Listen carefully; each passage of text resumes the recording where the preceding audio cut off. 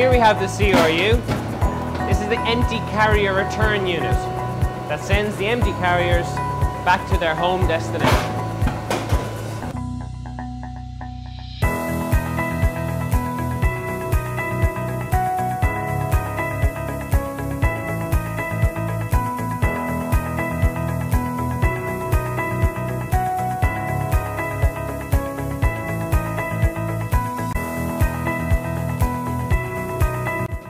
The carriers arrive in the laboratory on the glide rails, and when emptied, are returned to the CRU.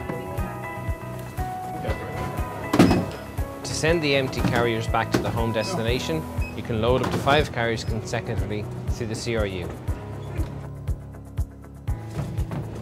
Commissioned in April 2016, the system has completed 210,285 journeys in the first eight months.